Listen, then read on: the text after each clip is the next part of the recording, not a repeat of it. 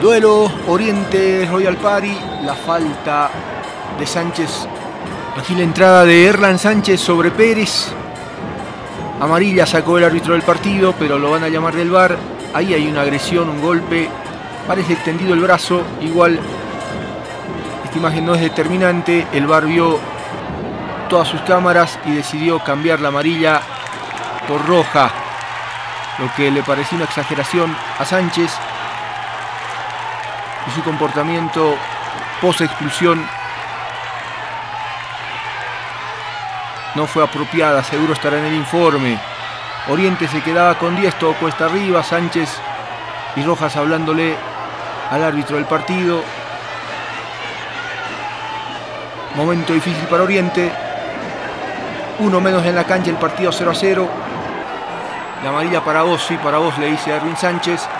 ¿Y por qué? ¿Y por qué aquello? ¿Y por qué el otro?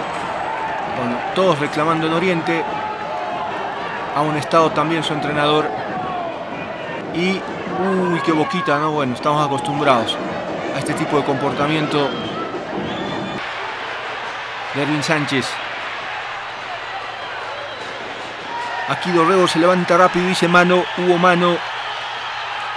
Y lo van a llamar del bar al juez del partido, que no había sancionado nada inicialmente. Y terminará cobrando la pena máxima Penal para Oriente.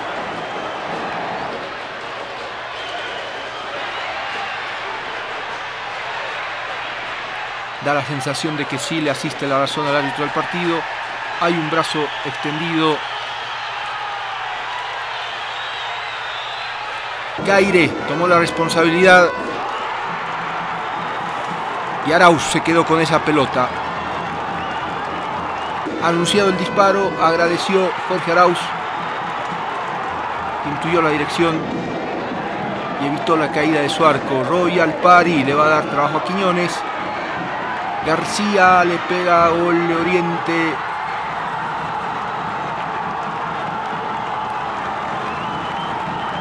...1 a 0 arriba Royal Pari.